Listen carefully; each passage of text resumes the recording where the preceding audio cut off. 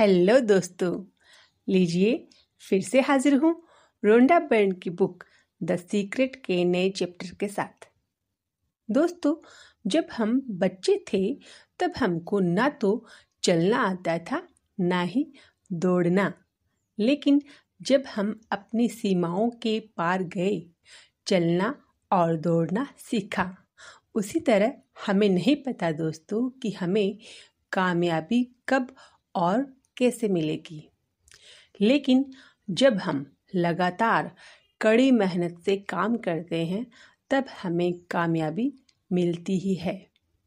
दोस्तों, आप जिस भी फ़ील्ड में आगे बढ़ना चाहते हैं, आपको अपने फ़ील्ड के एक्सपर्ट से पूछना चाहिए और उनसे सीखना चाहिए।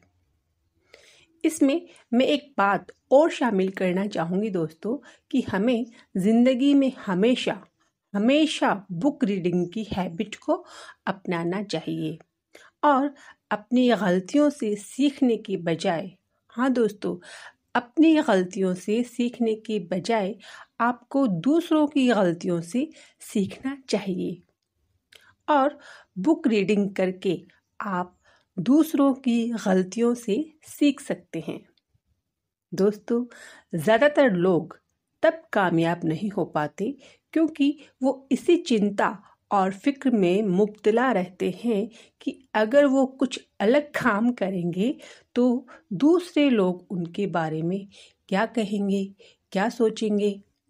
लेकिन दोस्तों, कामयाब लोग कभी इस बात की चिंता और फ़िक्र नहीं करते कि लोग क्या कहेंगे, क्योंकि वो जानते हैं कि लोगों का तो काम ही कहना है और लोग कुछ ना कुछ तो कहेंगे।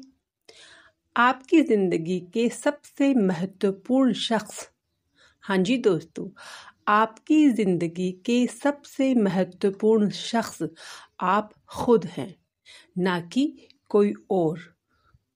और आपको हमेशा इस बात की चिंता और फ़िक्र होनी चाहिए कि आप आप अपने बारे में क्या सोचते हैं, न कि दूसरे आपके बारे में क्या सोचते हैं।